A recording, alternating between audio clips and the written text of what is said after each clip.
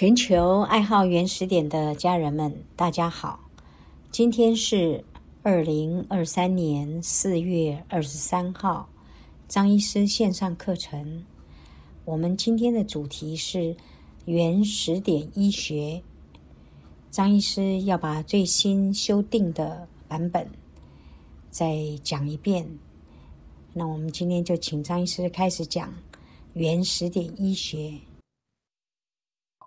呃，今天来谈原始点医学示意图，还有啊，如果谈完还有时间，我们再进一步谈疾病与衰老。那这一次讲的内容，其实跟各位现在手上拿的书，事实上已经修改蛮多了。那为什么会修改呢？啊，这个第一个。已经经过一年多了，啊，再来经过沉淀之后，啊，自己也有一些想法，还有呃，就是有人提出啊，像一些示意图，他觉得里面内容还不够完善，呃，我看了也有同感，啊，所以啊，从这样一开始，既然原始点医学啊。这里还不够完善，我相信其他的啊各篇也应该会有这样的问题，哦，所以从过年啊之后就开始一路修，修到现在也差不多啊将近两三个月了，啊，那大致已经差不多修改完，所以今天不管是原始点医学的示意图。或是疾病已衰老，我相信整个内容应该都会比之前完善。那各位如果有书本的人，那如果能够对照着看，甚至把最新的资料在你们的书本上也修改一下，再来读，我相信大家会有不一样的感受。好，那我们今天就开始来谈原始点医学。一理论篇。一原始点医学。原始点医学示意图。医学包括理论与临床，临床包括诊断与治疗，治疗包括医疗与保健，其目的则是解决疾病。原始点医学在理论上，为了阐明老病的由来及防治，设定疾病与衰老为果，体伤及热能不足为因，按推热源，适当运动、充分休息、良好心态为源，并在临床上通过观察症状，用上述之源从因处理，就可达到防治疾病。及抗老增寿的目的。其中，观察症状属诊断，按推属医疗，其余治疗方法则属保健。至于生气、压力、外伤等源，则会促使因伤果生。好，我们先来看啊，那个原始的医学示意图。这个示意图哈，我个人感觉，呃，画的很好，重点都有画出来。那我们原始点的理论，当然就是因缘果。那这个因缘果也是实际上是从暗推与热源啊这一部分一路做出来，然后最后才把理论啊这些理论，为了使大家容易明白，才加进去。那用因缘果理论来谈，大家会比较容易理解，因为因缘果啊，一般我们生活上都知道哦，为什么会产生果，一定要有因嘛。而我们在处理疾病也常常说要找出疾病之因，那从这一句话就可以看出，那什么是果？当然就是疾病是果喽。那什么是疾病之因？好，那这个部分。啊，在中医或西医，大家在探讨的因就不一样。那这一部分原始点就产生了他自己独特的看法，因为他是做出来的，哦，所以我们从果来看，医学大部分啊，一开始我们就讲，医学要解决的是什么？是疾病。那疾病，但是问题原始点认为，其实从生命的角度来探讨的时候，就不只只有疾病。我们知道。从你一生下来有了这个生命体之后，它就随时在开始产生变化。那随着年纪越大，当然变老是不在话下。但更重要的，这中间过程中还有一个，就是会产生疾病。那既然有这两种的变化，那你只谈疾病是不可以的。在原始点的角度看，哦，一定要把。老也顺便讲讲，因为哦，所以我们到最后会讲为什么可以抗老增寿啊？那在中医也有谈养生，就代表这个老是可以防治的啊，可以预防的。那疾病当然是最重要的，因为在生老病死中啊，这个过程中最让人家难受的，不外就是疾病。疾疾病真的很折磨人。好，那老跟病既然是不可避免的，那这个就是属果。反正你看得到的一切的变化，通属果，看得到的。那这一部分就要谈到哦，这个果哈，在老跟病其实也是很简单的一个道理，你从身体的外表观观察就可以观察出来。但问题现在这个果哦，因为各种呃，尤其西医啦，应该直接说就是西医，他们用仪器来检查啊，我们是从眼睛看体表的啊，身体的种种变化就可以看出老跟病。那同样仪器看到体内的，你想一个生命体里面，你除了老跟病之外，你还能看到什么？其实没有。就就还是老跟病而已，哦，那仪器也是看到体内的老跟病，哦，那这一部分我们在疾病与衰老会再进一步详详述，也就是西医在这一部分，哦他们把检测出来的啊，不管是异常或组织受损，这里我们都有提到，哦，这个哦，原签里面也有谈到异常，啊，那异常指数啦，或是异常形态。那在在我们看法，这个跟疾病是不相干的，因为疾病一定要有症状，但异常形态跟异常指数，它不是，它没有既非症也非状哦，所以哦，就像我们白头发、脸皮皱，它也不是症也不是状啊，所以我们把它归到衰老。那同样，体表有老跟病，体内当然也有。啊，可是西医反正他们检测出来的都称为啊异常，都是称为病。那我们这里一开头，哦，虽然都是果，老跟病都是果，但我认为有必要在这里就要把它区分了。那简单的讲，从这一开始，大家在看原始点医学，看似很简单，但一开始就从生命的角度已经在探讨。我们从有了这个生命体，然后会有出现的老跟病，就一路在看开始探讨。所以我认为一个人啊，不管你学问多高，或是学识有多丰富，你如果对生命连你自己生命的种种变化都不了解，那往外追求的这些知识，我认为好像是身外之物啊！哦，你一旦身体。产生了问题，你不一定能够维护得好，哦，所以要把道理讲清楚。我觉得，哦，原始点的编排，也有人很多了，建议说，那为什么医学不放在最上面，那把老跟病放在最上面呢？因为原始点就是为了解决这些老跟病，你一定要看到老跟病，才会慢慢产生医学。所以医学是后来才产生的。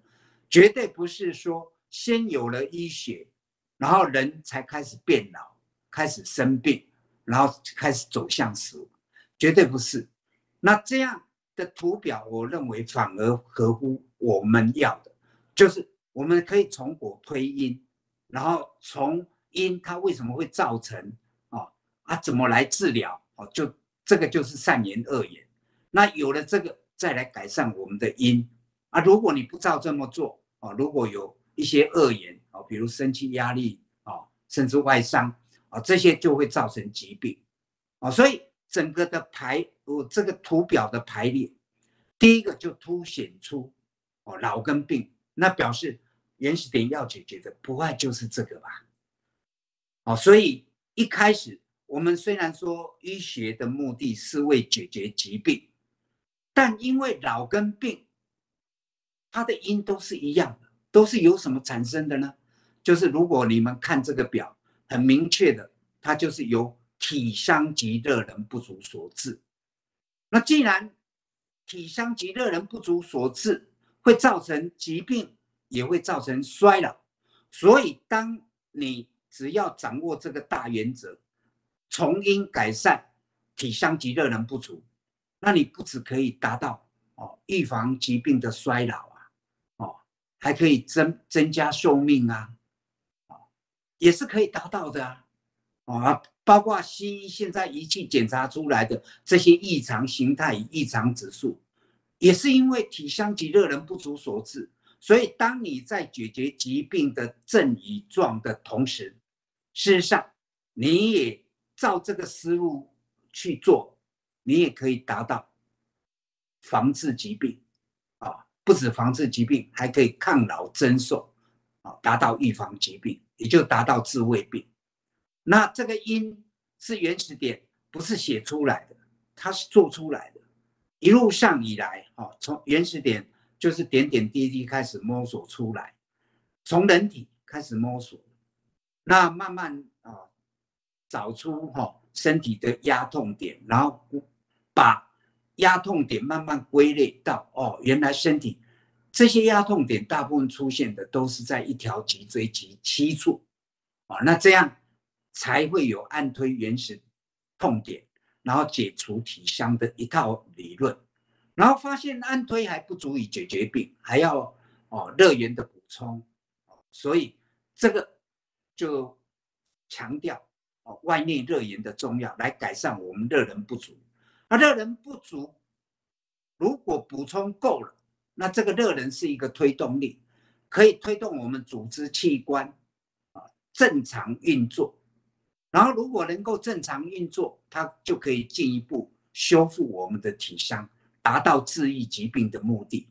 啊，所以这个热能非常重要。哦，我在我写疾病之因，虽然体香及热能不足，中间那个箭头啊是互为影响的。也就是你热能如果不足，不能够维持组织器官正常运作，所以热能如果够了，热能够就可以推动组织器官运作，要不然你组织器官你怎么运作？就像啊，我们说死人，死人你去解剖的时候，还是有组织器官都在呀，但他就是死。为什么？因为他没有热，没有一个动力去推动它。哦，所以原始点医学是人性化的，它一定是就这个生命体的种种互动来表现。这个也是跟西医最大的不一样。西医在谈医学的时候，他们常常比较着重在解剖，哦，也就是身体的一些结构，哦，不管是组织器官呐，哦，他们的位置都画得很正确，但他们少掉了这个热能。那这个热能又是阴中之阴呐，它会影响体伤。如果你推动不够，就好像电力不够，那电力哦，电压不稳定哦，有时候电脑也会宕机呀，这些种种问题就会出来。那同样的热能不足，也会使我们身体宕机呀，哦，就会产生一些症状出来。所以热能不足会影响体香。同样的，你有体香，身体本来就会自愈。去推动组织器官去自我修复，但因为体香严重，你要消耗的热能就多，所以也会造成热能不足。所以体香跟热能不足是彼此互为影响。哦，所所以从这个表我们看到中间有一个箭头啊，就是红线啊，就在谈这一个两两个体香跟热能不足是互为影响的。那这两个有因为有体香及热能不足。才使我们身体产生变化，什么变化呢？当然就是往坏的变化啊。那它的走向不是走向疾病，就是走向衰老。所以为我们为了解决疾病或预防疾病，甚至啊达到抗老增寿，那你一定要从因下手，就是让我们的体香改善。那什么叫体香？哦，我们啊后面我们也会提到，就是。组织器官运作失调的一个状态，那有时候他热人哦还不是重点，有时候他体力还很好的时候，你只要有时候靠按推，哎，体香就解决。但一般有体香，因为它会消耗热能，所以我们一定除了按推以外，还要再加强补充啊，那外内热源啊，严重一点啊，当然是外内热源。轻微的，有时候外热炎就可以了。好，那这个这样做，照这样的思路，我说过，上面的果，因为因变则果转啊，那上面的果就可以产生改变。好，那我们再来看，那你要改变你疾病之因或老老老衰老的原因，那你要改善体质啊。那体质就是体香热能不足，怎么做到呢？哦，下面就是盐。那我们当然要用好的盐，譬如你有体香，那我们就要靠按推啊，这个按推来解除。那按推它有分他处体香跟患处体香，这一部分后面也会提到。那这一部分如果按推得当啊，体香是可以改善。但如果算重病，呃，比较重病或热能比较严重不足，那热这个哦外外内热源甚至都要加进去，甚至还要补充什么，配合生活上的运动、休息啊，良好心态，这部分要很完善的整个配合哦，也就是按推它只是一个。算是医疗，但是如果你加上日常的一些生活啊，包括外内热源，还有啊，我刚刚讲的运运动、休息、良好心态，这种种都是属于保健。好，那我们就分出来哦，原来要改善疾病之因，一定要靠医疗与保健。医疗就如果以原始点的角度，就是按推；那如果以中医，哦，就是针刺穴位啊。那这个原始点，这个图哦，跟中医比较类似的。他们治疗方法有一针、二灸、三用药。比如针针刺穴位啊，那就是像按推按推原始痛点一样的道理哦，就解可以解解除体伤。那另外的灸跟药，他们也是一个热源。那既然热源，那就是就是属于保健了。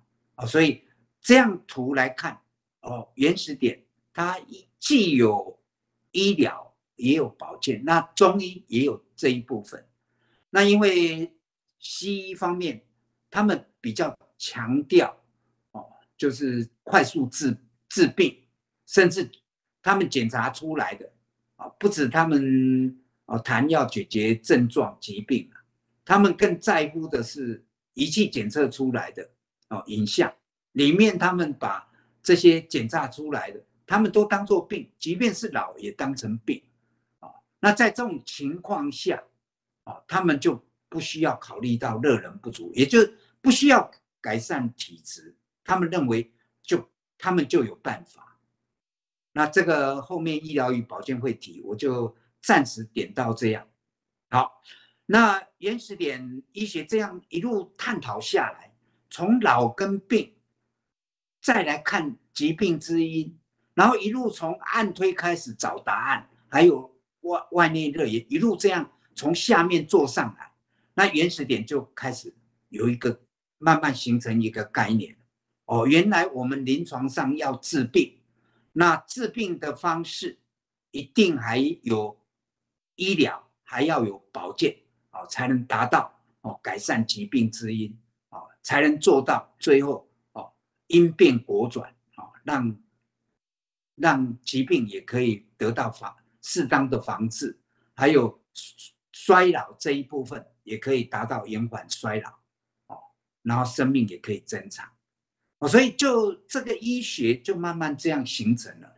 那再来，当然，一个医学除了这些治疗的方面，更重要，你治疗还要有一个哦遵遵循的法则嘛。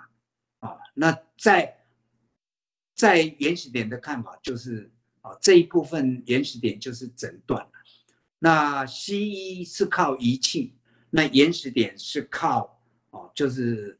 观察体表的种种变化，那在中医就是望闻问切了哦。望闻问切跟原始点观察症状也有异曲同工之妙，但实际在应用上是还是差异蛮多的啊。比如说啊，望闻啊，望看你的脸色，看你的啊种种变化哦。当然这个也是原始点谈的观察部分，然后还有跟。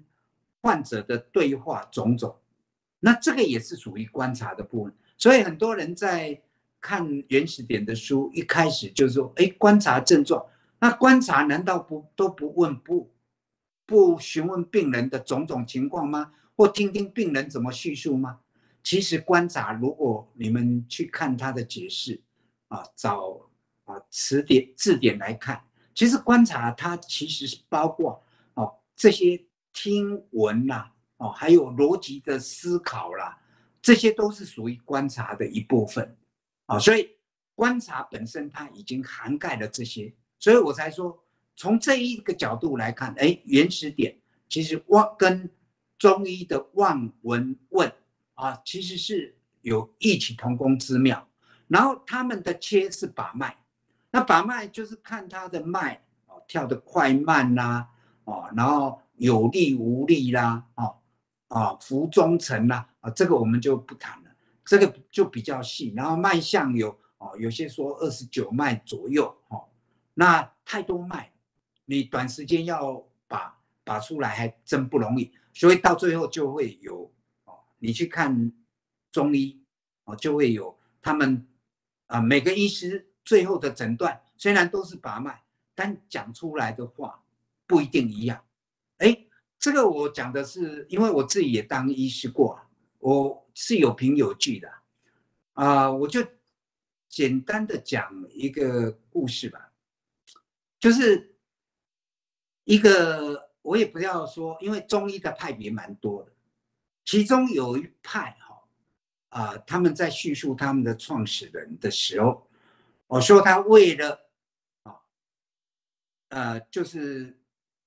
啊，把这个他们的派别哦做得很好，然后他的弟子哦要跟他学，所以他光他的弟子跟他学把脉，结果他们说一定要把到跟老师一样，然后在诊断诊断的证明哦写出来的时候哦判断方面也都一致，竟然他花了好几年，所以把脉不容易啊！我我这样讲就是要让大家了解啊。把脉为什么你一个病人去不同的诊所，哎，结果经过把脉，很多医师讲出来的话都不一样。所以，呃，我有时候都会跟患者讲，你就当参考就好。把脉它只是一个啊快慢啊，可能会可以把出啊一些体质的讯息来，但要完全知道很难的啊。我以前在当。中医师的时候，我也曾经遇过患者，然后一来就手放在桌上说：“张医师，你帮我把脉。”然后我不先讲，你说说看我是得什么病，哦，然后你就你你你再你再开药。我我稍微思考一下，我说好，这是你说的哦，那我们都就都不讲话。你既然以为我那么厉害，好，那我就做给你看，我都不讲哦。那你手放上来，然后我把完脉，我开药了，我也不问你啊，然后我就写了。患者说：“哎，这样不行不行，哎，那你还是要跟我讲，那为什么要开这样药？那我说，那既然你你要我讲，要我问，要听你的，那你就不要为难我嘛。所以其实患者哈，虽然一直预期医师可能哦，他的功力很不错，可以做到这样，但真正医师要这样做，他也没有信心，他也不知道。”哦，所以有时候我是觉得参考就好。那原始点这一部分，哦，如果说望闻问切，切在原始点就是也是靠手啊，但原始点不是去把脉，而是直接怎么样，从原始点的位置找出压痛点，也就是体香的位置。那体香就是疾病之因呐，上面有写啊，哦，所以你就直接从疾病之因下手。所以原始点为什么它的诊断跟治疗？是一不是二，它根本就是诊疗合一嘛。所以在不得已的情况下，我把诊断与治疗才这样分开。事实上，在原始点的概念里面，其实诊断跟治疗其实是不可划分的。但是在所有的医学现有的医学都是划分的。比如说啊，中医经过望闻问切之后，他看完整之后，啊，然后再来。依循他的一些逻辑判断，然后最后哦，感觉你是什么体质，应该开什么药，哦，最后他才会开药。那西医当然就要看一些影片啊，哦，照出来的影片或是数据呀，哦，然后做最后的判断啊，再来做最后的治疗方案。好，那这样说来，他们的诊断跟治疗是合在一起还是分开的？当然是分开的，所以。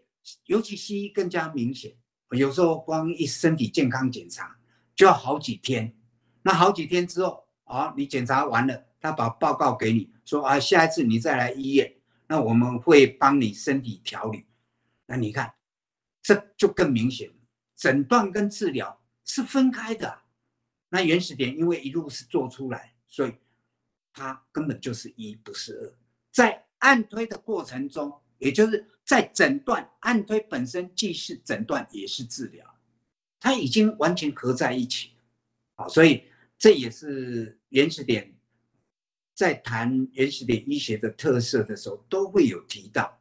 那这个示意图是看不出来的啊，但是我们可从可以从这个示意图里面也约略可以看出，哇，原来这个示意图是以原始点的角度来写的，那。不管中医也好，西医也好，大致也要照这样，要不然早期啊，我有时候会问一些西医的朋友，我说什么叫医学？因为中医也有也称为医学，西医也称为医学，啊，这到底医学最主要是怎么样？哎，你要叫西医讲，他们未必讲得出来，你别以为他们是专业，一定讲得出来。而不一定，但因为西医为什么讲不出来？从这个表很清楚，即便他讲得出来，也应该是不完善的讲出来。为什么？因为西医少了一条腿，也就在治疗上，他少了保健这一条腿。因为你保健，我们刚刚一开始就讲身体的变化，有疾病嘛，也有衰老。那如果这样，你要预防疾病或抗老增寿，这一部分不靠保健是不行的。所以，在治疗上，反而我认为从这个角度，哎，中医是比较完善的。它在呃医疗与保健整个医学架构是比较完善。那在西医好像就不强调保健，他们就强调医疗，这也造成西医现在因为。是主流医学嘛，大家也清楚。然后很多法令规章都由西医专业人士来定定的，那这样的定定自然就有偏差。所以他们一再强调，你不能谈治病的，你谈治病就是医疗，哎，这个就有偏颇了。你谈治病就有医疗，其实治病它有分医疗跟保健的，哦，所以他们都太强调医疗，所以他不准你谈医疗，就是侵犯了他们的专业。你谈医疗，就可能有医师法的问题哦，事后那如果你谈保健啊，比如哦，我是这个是养生健康食品，哦，这个西医就不会管你了，因为他们不管你保健这一块。但保健能不能治病？保健可以呀，中医已经讲得很清楚。中医的治疗方法，一针、二灸、三用药，我刚刚已经提了。针就是针治穴位，就是医疗；那灸跟药就是一个热源，热源就是改善热能不足，然后加速修复体相，也就是让呃组织器官恢复正常运作，来达到自我修复。所以它当然是治疗的一部分啦。那但这里西医是没有保健的这这个哦这个这个概念，所以他们比较强调医疗。所以从这个哦原始点示意图已经可以看出医学的整个面貌。你医学不是就是要解决疾病吗？那在中医不就是要解决老跟病吗？怎么只有疾病而已？那要不然中医的养生又是从何而来的？好那这样就可以看清楚，原来中医比较也是算是比较在生命探讨生命的整个变化，格局比较宽阔。那西医因为把所有检查出来的，不管啊异常指数或异常形态，都当成疾病，哇，所以这也很麻烦的啊。只要去给西医看，病人越来越多，你医学越进步，病人就越多。啊，病名也越多，这为什么？因为他们老病不分呐，直接什么来的，只要检查出来跟哦你之前不一样的啊，异于之前的正常现象，他就认为哦这些异常通通是病，这这个或是疾病之因，后面也会提到。好，那这个自然他们的谈法，在西医的谈法眼中。仪器检测出来的就只有疾病而已，但是我们不得不提，其实身身体的变化，其实这个除了疾病以外，还有老的变化，不能老跟病混淆着谈。那这样，所有人很容易都本来自己都不觉得有病，因为我没有症状啊，啊我是健康的人，哎，结果去西医检查，竟然我我是病人了，而且甚至一检查。就是癌末，然后我也没有症状，体力也好的不得了，哎，结果已经被判死刑了。啊，这这种医学，啊，像这种荒谬的事，其实是时常发生的。那为什么会这样？啊，所以我们从这个表，其实已经透露的很啊，医学里面其实真正完善的，就是要解决我们的生命体。而这个生命体是要看生命的整个表现，然后针对这些问题来解决，而不是医学发展自己一套的理论，然后把身体的所有问题再套进他的理论里面。所以这样的情况下，病人当然就不知道我到底是健康的还是生病的，自己不知道，一定要生，因为你没有症没有状，在古代的时候。你是可以知道，哎，我有没有疾病？因为医学是后来才发生的，不是先有医学才有病人嘛？这个是逻辑不通的嘛？那有了病人啊，为什么病人知道自己生病？一定他自己先知道，不是医师先知道。那病人知道，他才会去找医师。那病人怎么知道？因为有症跟状，后面我们会提到。但是西医很可惜的，以前的人。知道我自己病，现在的人反而自己有没有病都要再去找西医确定一下。为什么？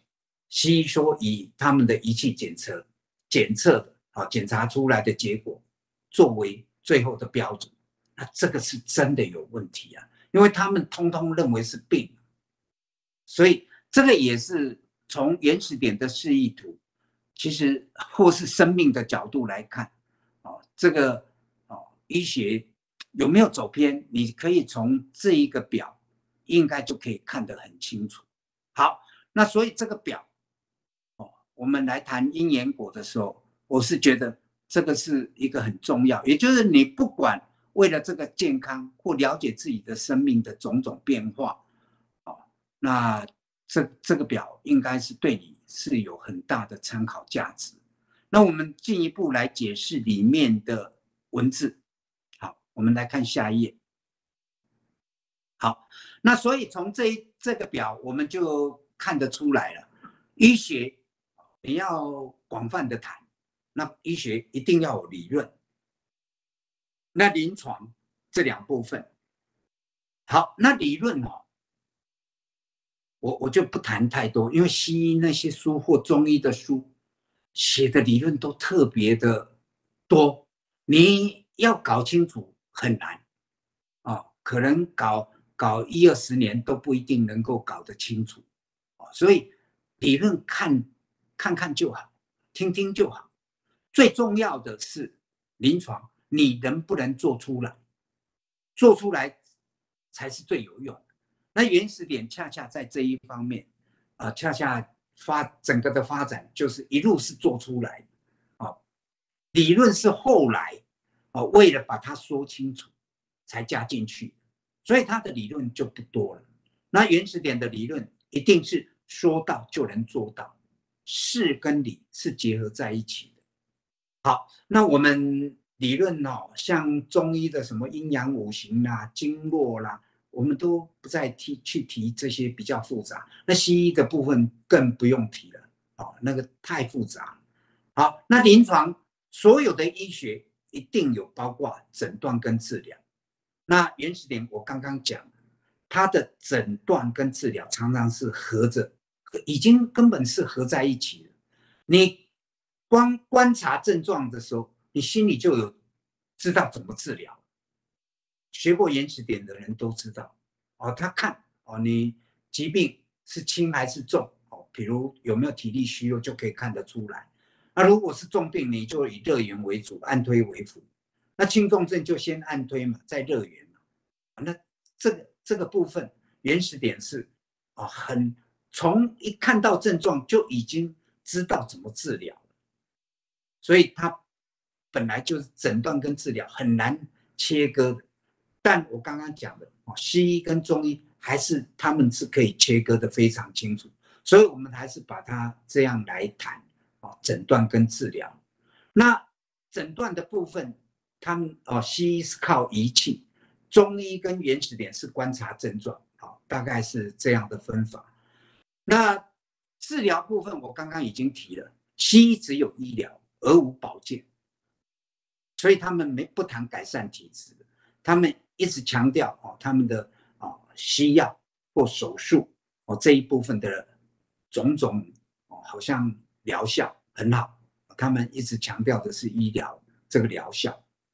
好，那原始点跟中医比较更重视的是体质的改善啦。啊那不管怎么说哦，医疗跟保健如果用的适当，就能解决我们的疾病。那原始点还有一点跟他们不一样，除了诊断跟治疗是不可切割的。事实上，那个医疗与保健它是并用，不可能说只有按推，那就不不给他歪热眼。原始点没有这样，如果轻重症还是要给他歪热眼，即便你是没有病，要达到治未病哦，治未病就是表示这个人啊体力是正常，热人也够啊。也没有不足啊，啊，所以才是正常人嘛。那即便是这样的人，你当你按到体香，哦哦，那有了这个体香，它就有可能产生疾病。那按推的过程按完之后，你还是要加热源，也就是医疗跟保健，不从治未病或治已病，其实做法都是一样的，都一定是医疗与保健并用。那这一部分中医不一定并用，哦，他们。有些你去看诊所，你进去看，他帮你把脉，把完脉就开药，你拿了药，有时候就人就走，他也不一定会帮你针跟灸，不一定，所以未必并用那当然也有人比较少，又帮你开药，又帮你针，又帮你灸。但如果以现在我们台湾哦那个健保制度，你一个诊所看一个病人，既要开药，又要针，又要灸，他划不来啊，那个时间很漫长啊，哦，所以一般诊所是不这么做。但事实上，解决疾病是一定要医疗跟保健并用。好，这是我的题外话。好，那我们再看下一段。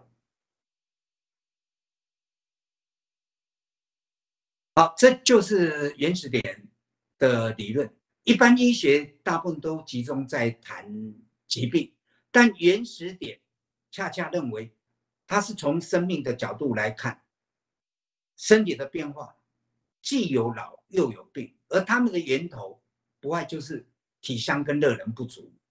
所以你要把老跟病的由来谈清楚，它是怎么造成，还有怎么预防它。让它不至于发生，那万一发生了怎么治疗？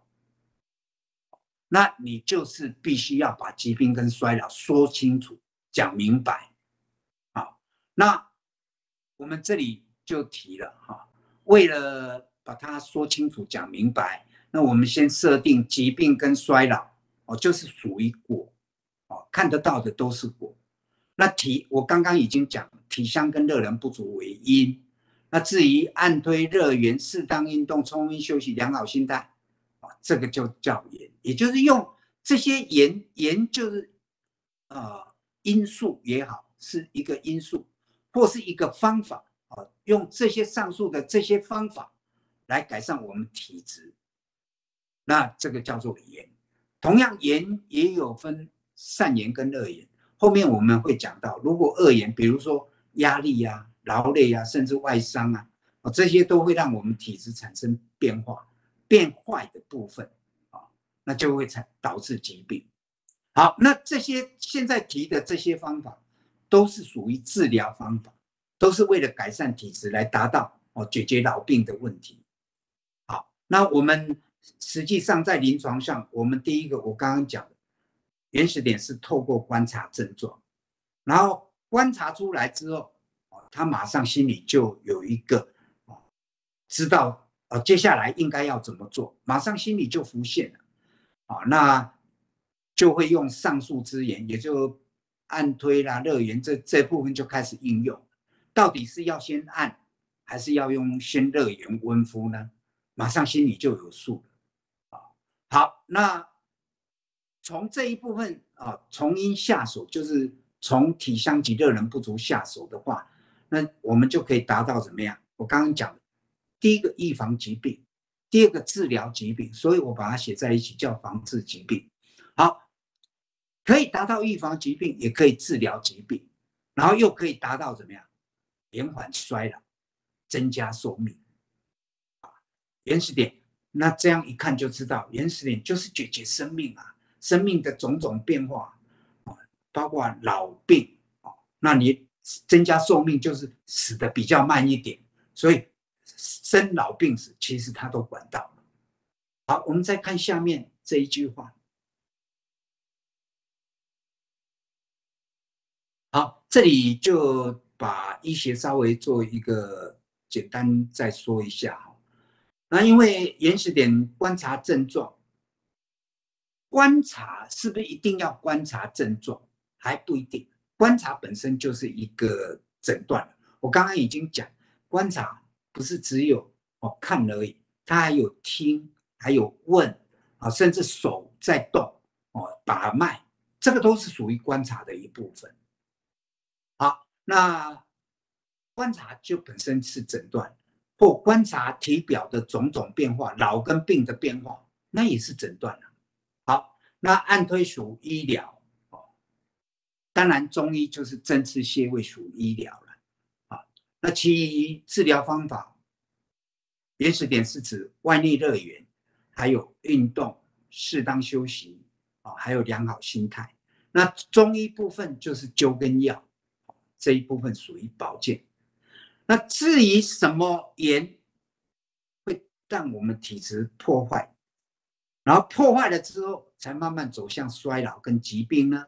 好，这里就有提了啊，比如随便举的啦，这不一定啊，生气、压力呀，哦，或是你劳累过度啊，哦，然后熬夜啊，这这这些都会造成。啊它会造成怎么样？你消耗太多热能，那外伤直接就造成体伤了。那你消耗热能，你推动组织运转就不顺畅了，不顺畅就慢慢形成体伤了，所以自然就会导致啊老跟病，衰老的很快。哦，我也看过有有人，哦，他突然间就是吃了一些寒凉，他整个年变得很老。哦，也以前有看到这样的新闻。那为什么他没有病啊？他没有症状啊？但是整个脸看起来本来是二三十岁的，一看起来就好像六七十岁的，整个脸都都变皱皱起来了。啊，这个短时间呢很难想象啊。我我曾经看到这样的哦报道。那为什么会这样？从原始点是可以讲得清楚。因为你阴伤啊啊，果生果不只是疾病，连老化也会变得很快速啊。好像我早期呀，哦，为了我太太生病，哦，一有压力，然后日夜日夜不断的去思考，想一直想解决这些问题，哎，结果几个月内，我的头发本来是黑的，哦，在在差不多四十岁出头。我这整个头发突然间，哦，很多白发就冒出来。那白发一看就知道，这个一定是头部体香。那体体香现在来看，哦，造成这些果的变化。所以体香不一定只有产生疾病，它也会让我们老化加速。所以当你把这些因解决了，不就是老跟病也解决了吗？所以我们前面原始点在谈。就是它不是为了治疗老，因为既然称为医学，就主要是为了解决疾病。但从生命的角度来看，哦，疾病跟衰老原来是都是同一个源头的，哦，它的因都是一样的。那你这样解决，不就是把所有的问题也一并解决了吗？好，这是我们原始点医学的部分。啊，我就照我的一些概念想法，把这个图表还有这些文字做了这样的解释。好，这一边就讲到这里。好，谢谢老师今天讲最新修订版本的原始点医学。那我们接着就放三个经典的案例。好，我们现在开始放三个案例。植物人案例。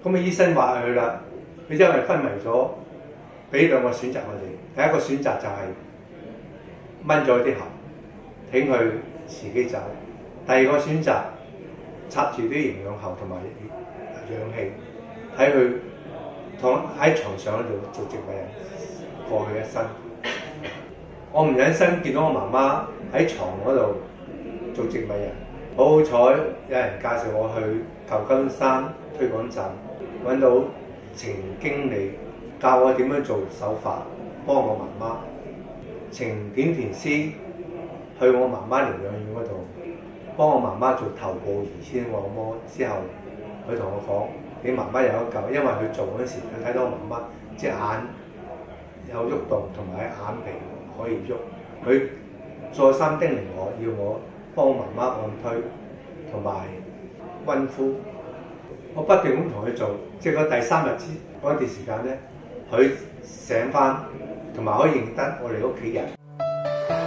我係邊個啊？你家福叫我啊？我係邊個啊？咁樣我對原始點好有信心，繼續咁幫佢做原始點嘅前身，佢慢慢好翻。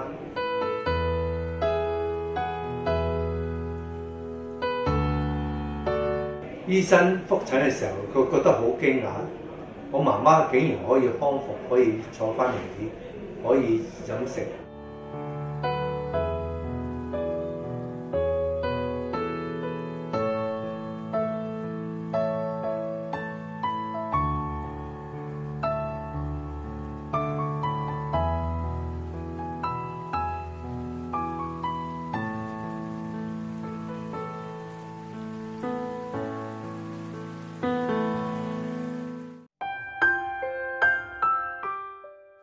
管癌案例：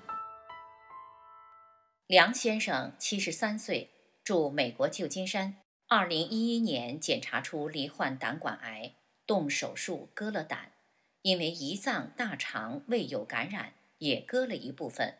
手术后做了半年的化疗和电疗。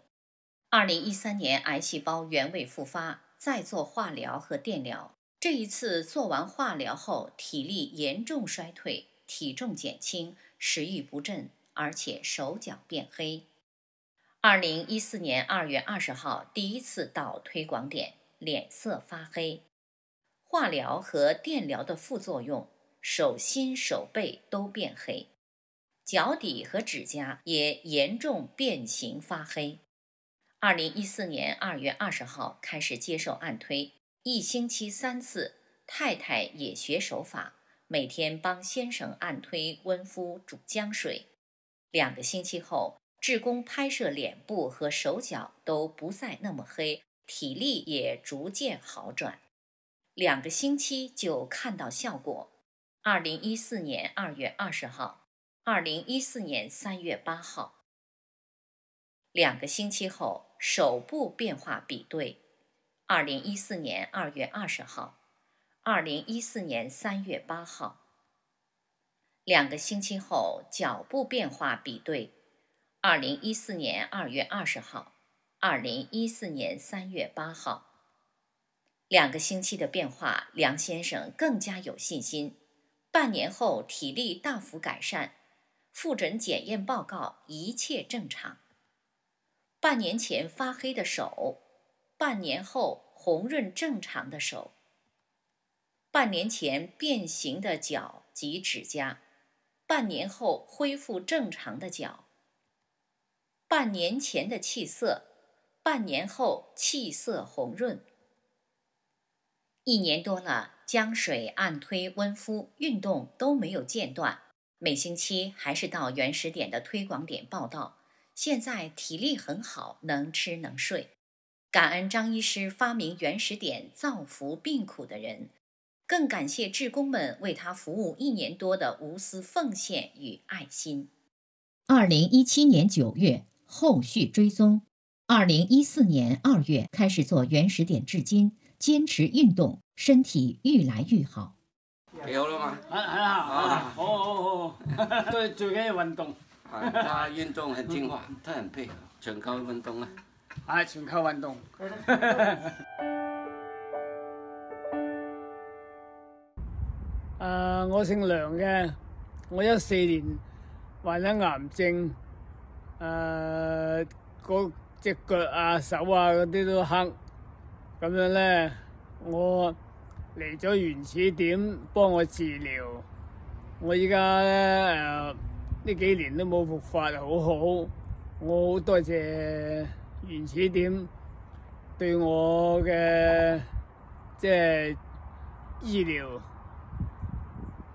好多謝晒。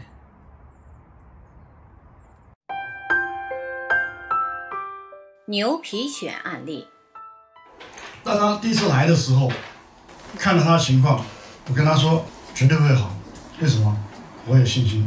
我有信心，我跟他说会好，他也有信心，对不对啊？这最要紧。同时，我也跟他讲过，将来恢复过程中间，你可能会碰到表皮硬崩。可能会碰到表皮溃裂，你也可能会痒，你也可能会肿，你也可能会淌水。因为事前我已经给他打过防疫针了，所以他心里很笃定，知道这些现象只是过程。所以这些现象出来的时候，他并没有很紧张。我第一次给他按推完了以后，我给他敷姜泥，腿上敷了，他一个晚上没有感觉，没有灼热感，手上有微微的。他唯一的改变是他从当天晚上回去八九点钟睡觉，睡到第二天下午四点。第二次来的时候，我帮他再涂姜，他手上过了十分钟有一点灼热感，但腿上还不明显。到第三次的时候，腿还没有出门就已经有灼热。那么这个中间，他也产生了皮肤绷得很紧，有灼热，也有溃裂、淌水。淌水的时候，它那个 kitchen towel 把它包住，包住以后，那水淌了都湿哒哒的，然后又粘在皮肤上，然后穿着袜子、穿着鞋子，那个水都把鞋子里面都淌湿了。因为他知道这一切是修复的过程，所以他不担心。如果一个职工没有这个经验，哎呦，真的我不敢做，对不对啊？我们一没有信心，没有经验，一没有信心，他跟着就倒了，可以这么说，这正常现象。第一个月做完拍了这些相片，Grace 跟我说一句话，说：“我觉得再过一个月我就会好。”上个礼拜来，我问他怎么样，他说好像有一点有新的疹子，好像那个红肿小块出来，背上呢又开始有点不是那么平了。我说这很好，好现象。你要记得一点哈。尤其是这么重的患者哈，当他身体在恢复的时候是全方位的，所以后面还会反反复复，反反复复。今天我又看到他背又好多了。背部第一天一个月后，这些都是恢复现象。他现在自己感觉啊，有精神，有力气，不犯困，是不是？不犯困。我觉得我们成功的因素啊，来自于患者自己本身的坚持跟配合。最奇妙的就是，嗯，大概第三个礼拜的，我原来有的那个流皮癣了，都正常了，我就觉得很奇妙，因为我十多年来什么都试过了，中医、西医、针灸。一个月的变化比对，一个月前，一个月后，原始点大概三个礼拜就有这种效果，我觉得啊。太奇妙了，不可思议啊！在绝望中找到希望，嗯，就是原始点，因为我绝望好好久好久，嗯，而且陈太太、陈经理和这些职工啊，真是很有爱心、很有耐心，他们的这种是让人感动，嗯。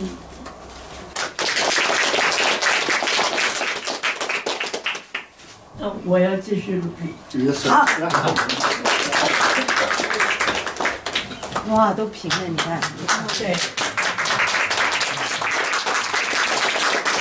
这是不可思议的，我所有办法都找试过了，只有在这里找到答案，很感动。那你们的答案？我无法形容，谢谢。看了这个案例，相不相信原始的威力？相信，相信。真的哈，真的让绝望者看到不可思议，真的不可思议，不可思议。好，那我们放完这三个案例，我们今天的直播就到这里，谢谢大家。我们下个礼拜继续讲最新修订版本的。疾病与衰老。